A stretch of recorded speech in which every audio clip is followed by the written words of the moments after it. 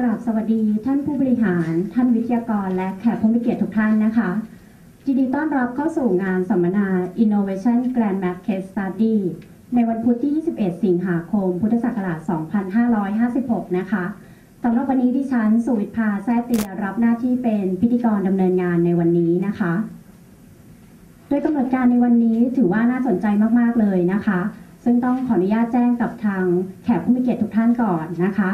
โดยมีการปรับเปลี่ยนเล็กน้อยนะคะ โดยช่วงแรกนั้นจะเป็นในเรื่องของการบรรยายพิเศษในหัวข้อ Innovation First ค่ะ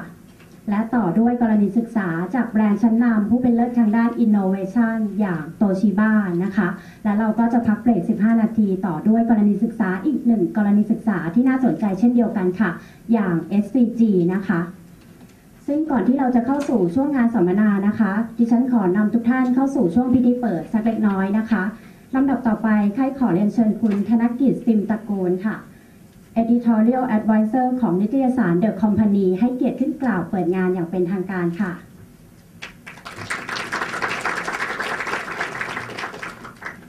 ก็สวัสดีนะครับก็วันนี้ฝนตกมาพร้อมฝนนะครับ ก็คนอาจจะทยอยกันมานะครับ ก็เดี๋ยวเราเข้าที่การเปิดกันสักเล็กน้อยครับ ก็เรียนท่านผู้บริหารนิตยสานเดอะคอมพานี ท่านวิทยากรและท่านผู้ร่วมสัมมนาทุกท่านนะครับนิสานเดอะคอมพานีก็ได้จัดสัมมนาในวันนี้นะครับ ในชื่อของ Innovation Grand Map Case Study นะครับ ขึ้นมา ก็เพราะว่าได้เล็งเห็นว่า Innovation จริง ๆ แล้วก็เป็นกระแสของโลกที่ถือว่าเป็นกระแสที่สำคัญที่สุดอันหนึ่งนะครับ ในปัจจุบันนี้ซึ่งก็ในอนาคตเนี่ยในในเวทีโลกเนี่ยก็คงจะ Innovation ก็คงจะเป็น ข้อหนึ่งที่ตัดสินการแพ้ชนะนะครับในระหว่างของการค้าระหว่างประเทศครับ ทีนี้จริง ๆแล้วในโลกของในอดีตที่ผ่านมานะครับในสมัยก่อนเนี่ยธุรกิจส่วนมากเนี่ยก็อยู่รอดได้ด้วยแค่เสนอสินค้าหรือบริการที่มีคุณภาพในราคาที่เหมาะสม แค่นั้นก็สามารถที่จะครองตลาดอยู่ได้แล้วก็เติบโตไปได้นะครับ แต่ว่าทุกๆวันนี้แค่สินค้าดีกับราคาดีแค่นั้น ไม่พอนะครับที่ที่จะแข่งขันในตลาดปัจจุบันนี้ แล้วก็ในอนาคตที่ที่จะเข้ามาถึงนะครับ ก็เพราะว่าธุรกิจในแต่ละแขนงเนี่ยจริงๆแล้วเราเห็นมองออกไป เราก็จะเห็นว่า เรื่องของการแข่งขันในแต่ละธุรกิจเนี่ยค่อนข้างจะแออัดมากๆนะครับ ในบางอุตสาหกรรมเนี่ยมีคู่แข่งขันประมาณ 30 40 50 รายนะครับ หรือบาง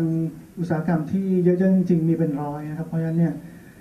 การที่จะสร้าง awareness นะครับของตัวสินค้าก็ดีในในในแคมเปญของเราเนี่ยก็เป็นเรื่องที่ยากมากขึ้นเรื่อยๆนะครับในทุกวัน แล้วก็จริงๆแล้วที่เราเห็นได้ชัดเนี่ยก็คือว่า การแข่งขันของธุรกิจณวันนี้เราเนี่ยไม่ได้แข่งขันในธุรกิจในอุตสาหกรรมเดียวนะครับ แต่ว่าเราต้องอแข่งขันกับอุตสาหกรรมรอบข้างด้วยนะครับ อย่างอย่างที่เราสังเกตได้ง่ายก็ว่า ถ้ามีไอเดียดีๆ สักอันหนึ่งออกมาจากธุรกิจใดก็ตามนะครับ มันจะไปกลบไอเดียของอไอเดียที่ด้อยกว่าในธุรกิจอื่นไปในตัวครับ อย่างเช่น พวกแคมเปญโฆษณาก็ดีหรือแคมเปญโปรโมชั่นก็ดีเนี่ยถ้ามีแคมเปญดีๆออกมาเนี่ยสังเกตได้ชัดเลยมันจะไปกลบแคมเปญที่งด้อยกว่าในธุรกิจอื่นครับเพราะฉะนั้นเนี่ยสิ่งที่เราเผชิญอยู่ปัจจุบันนี้เราไม่ได้แข่งขันใน ตลาดนะครับหรือว่าในอุตสาหกรรมเดียวกัน แต่ว่าเราต้องแข่งขันกับตลาดหรืออุตสาหกรรมรอบข้างด้วยครับในตัวครับเพราะว่าทุกวันนี้ความสนใจของผู้บริโภคเนี่ยได้ลดน้อยลงไปมาก เพราะว่าสิ่งที่มาแย่งความสนใจเนี่ยมากมายไก่กองนะครับ ในชีวิตประจำวันของเขานะครับ ซึ่งสิ่งที่เกิดขึ้นคือทุก ๆ คนเนี่ยก็ต้องพยายามหาสิ่งแปลกใหม่นะครับ หรือว่าอะไรก็ตามที่โดนใจผู้บริโภคมากกว่านะครับ เพื่อที่จะได้รับความสนใจจากผู้บริโภคครับซึ่งในภาษาของทางด้าน Marketing ก็บอกคือทำยังไงให้มัน outstanding ออกมาจากทะเลของการแข่งขันในปัจจุบันนะครับซึ่งตรงนี้เองเนี่ยก็คล้ายๆกับจะบอกว่าเหมือนกับดอกบัวครับที่มันจะต้องโผล่ให้พ้นน้ำก่อนที่จะเบ่งบานได้ครับ ซึ่งอันนี้ก็เป็นหน้าที่ของ innovation นะครับที่จะเข้ามาเป็นตัวที่ช่วยเรานะครับ เพราะว่า innovation innovation หรือนวัตกรรม ที่ได้ทำหน้าที่หลักๆ ให้กับธุรกิจนะก็จะมีอยู่ 3 ข้อนะครับหนึ่งก็คือสร้าง differentiation หรือความแตกต่างของผลิตภัณฑ์หรือหรือบริการนะครับสองคือ competitive advantage นะครับหรือว่าสร้างความได้เปรียบเชิงการแข่งขัน ซึ่งอาจจะมาจากต้นทุนที่ถูกกว่า หรือว่าเร็วกว่าในแง่ของการผลิตหรือการบริการก็ได้นะครับ อันสุดท้ายที่เป็นหลักๆนะครับก็คือ HVA นะครับก็คือ High Value Added นะครับให้กับ ผลิตภัณฑ์หรือองค์กรของเรานะครับ อันนี้ก็เป็นตัวสำคัญที่เราเราต้องสร้างขึ้นมา แล้วก็องค์กรใด ๆ ก็ตามนับจากนี้นะครับ ถ้า fail นะครับที่จะสร้าง innovation หรือนวัตกรรมขึ้น ก็มีความเสี่ยงสูงที่จะเสียตลาดให้กับคู่แข่งขันนะครับ ซึ่งเราเห็นตัวอย่างนี้มากมายนะครับทั้งในประเทศและต่างประเทศครับ ซึ่งซึ่งเราก็เห็นอยู่แล้ว แต่ว่าในขณะเดียวกัน innovation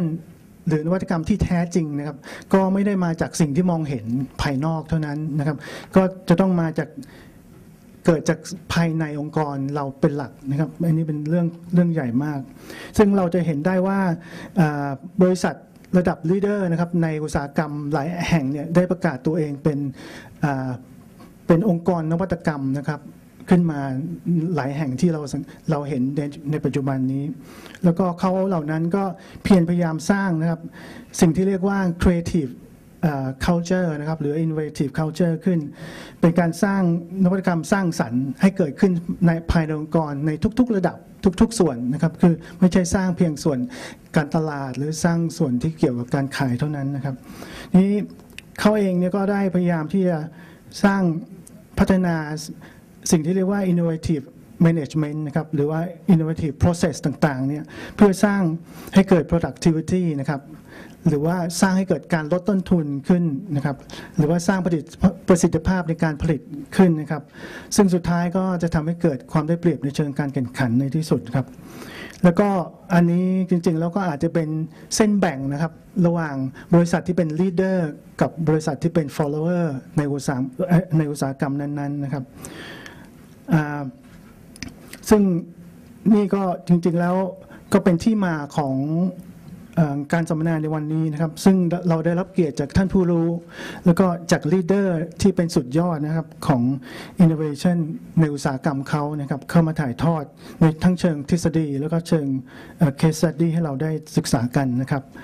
ในสัมมนาของเราในวันนี้ก็คือ Innovation